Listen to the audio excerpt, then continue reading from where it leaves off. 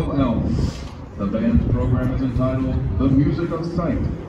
Using four movements from Aldo Forte's Impressionist prints, the local Band seeks to portray art through sound. Painting is the silence of thought and the music of sight, Orhan Pamuk. Drum majors Chloe Hill, Keaton McCaska, and Jack Weigert. you may begin your finals performance for the Don Hanna Memorial Marching Band Contest.